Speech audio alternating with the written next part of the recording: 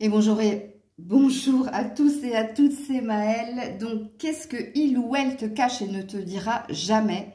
Faites votre choix entre la carte numéro 1, carte numéro 2, carte numéro 3. Si vous avez besoin de temps, vous faites pause sur la vidéo. On est parti. Choix numéro 1, qu'est-ce que il ou elle te cache et ne te dira jamais?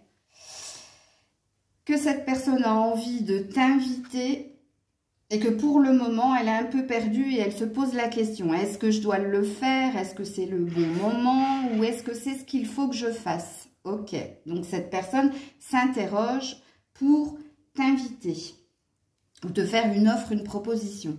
Choix numéro 2. Ben, il ou elle te cache ben, la vérité, une vérité. Et cette personne est bloquée pour te dire cette vérité et cette personne n'a pas envie de te dire cette vérité. Et quelle est cette vérité? Que cette personne pense à toi plus, plus, plus, qu'elle rêve de toi, que tu es dans ses pensées, que tu es toujours et encore là, présente dans son énergie.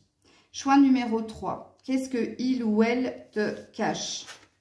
Influençable et j'ai quelqu'un d'autre. Bon, choix numéro 3, cette personne, qu'est-ce qu'elle te cache et qu'elle ne te dira jamais? Ben, Qu'elle te manipule, euh, parce qu'elle a quelqu'un d'autre. Elle ne te dira jamais qu'elle a quelqu'un d'autre.